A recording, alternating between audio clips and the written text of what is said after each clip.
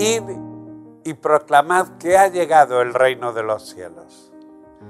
Esta es la misión que todo cristiano está llamado a desarrollar. Ir a todo el mundo, sobre todo a las ovejas descarriadas que no han oído todavía el anuncio del Evangelio de Jesús. Hermanos, aunque venimos de una cultura que ha sido cristiana, hoy día se han perdido los valores del Evangelio. La mayoría de nuestros contemporáneos no tienen ni idea de Jesucristo. Y si la tienen, está manipulada o mediatizada por la cultura dominante.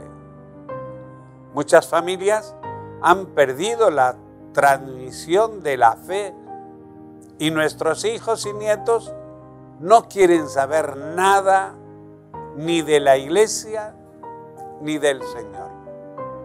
¿Y qué ha pasado?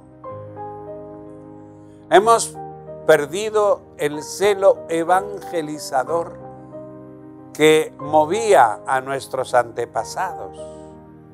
Nos hemos dejado robar el tesoro escondido que hemos recibido de nuestros mayores.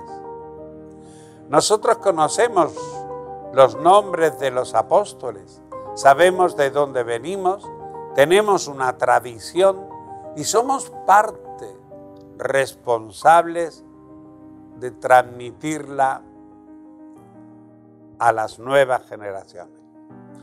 No tengamos miedo de anunciar a Jesucristo y de expulsar los demonios que engañan a nuestro prójimo.